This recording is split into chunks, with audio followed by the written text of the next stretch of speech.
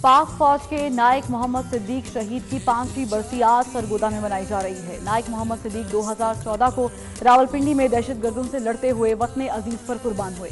اس وقت ہمارے نمائندے سید زوار حسین کاظمی ان کے اہل خانہ کے ہمراہ موجود ہیں۔ ان سے بات کریں گے۔ زوار بتائے گا کیا جذبات ہیں شہید کے اہل خانہ کے۔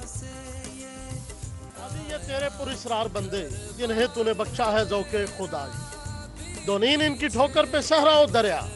پہاڑ ان کی حیبت سے رائی بلکل ہم اس وقت موجود ہیں پاک آرمی کے شہید جوان نائک محمد صدیق کے گھر، جنہوں نے آج ہی کے دن دہشت گردوں کا مقابلہ کرتے ہوئے راول پنڈی میں جامع شہادت نوش کیا۔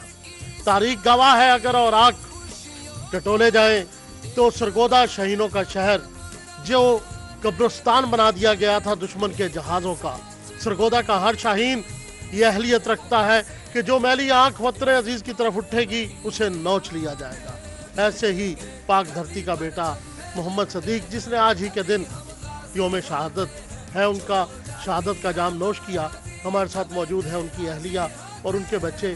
آئیے ان کی اہلیہ سے بات کرتے ہیں کہ وہ اس کے بارے میں کیا کہیں جی، کیا کہتے تھے؟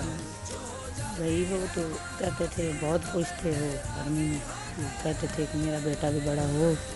تو میں ان کی بھی یہی میرا ہے کہ میرا بیٹا بھی یہی۔ تو آپ کو فخر تو ہوتا ہوگا آپ ایک شہید کی بیوہ میں نیک محمد صدیق شہید کی بیوہ ہوں۔ مجھے بہت زیادہ فخر ہے۔ میرے چار بچے ہیں بھائی دو بیٹیاں دو بیٹے۔ تو مجھے بہت زیادہ فخر ہے۔ بچوں کے مستقبل کے حوالے سے کیا کہتی ہیں؟ آپ آرمی جوائن کرے گا؟ جی کرے گا انشاءاللہ۔ میرا یہ زیادہ تو زیادہ ہے کہ میرا بڑا بیٹا کرے گا۔ بالکل آپ نے دیکھا کہ یہاں محمد صدیق کی اہلیہ جن کا ارادہ ہے جن کا یہ عزم ہے کہ ان کے بچے بھی ان کے شوہر کی طرح پاک آرمی جوائن کریں اور ایسے ہی وطن عزیز کی خدمت جی، جی۔ بہت شکریہ۔